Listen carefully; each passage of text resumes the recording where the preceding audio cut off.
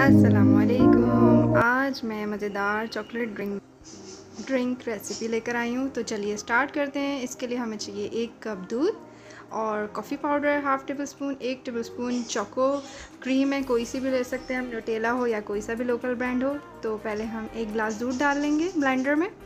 ये चॉपर है। असल में ब्लेंडर वर्क नहीं कर रहा तो चॉपर में।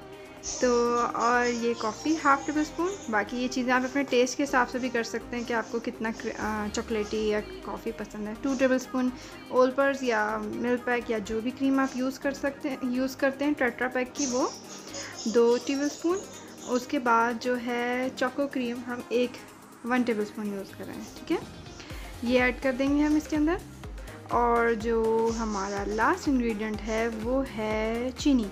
अब चीनी आप अपने हिसाब से ऐड कर सकते हैं। मैं यहाँ पे एक टेबल स्पून भर के यूज़ कर रही हूँ।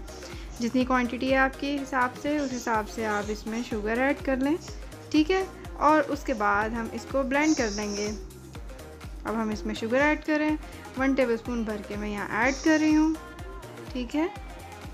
अब हमने कुछ नहीं करना, बस सारा काम ब्लेंडर ने करना है। अब हम इसको ब्लेंड कर देंगे और ये हमारा मज़ेदार चॉकलेट ड्रिंक रेडी है। बच्चों को भी पसंद आता है और बड़े भी पी लेते हैं लाइक करते हैं और गर्मियों में ठंडा ठंडा बनाएँ आइस क्रश करें, इसके अंदर ठंडा ठंडा chocolate milk chocolate coffee milk ready है। तो ज़रूर ट्राई करें, यकीनन पसंद आएगा। मेरे चैनल को सब्सक्राइब करें रेसिपी को लाइक करें। नेक्स्ट रेसिपी तक के लिए अल्लाह हाफिज़।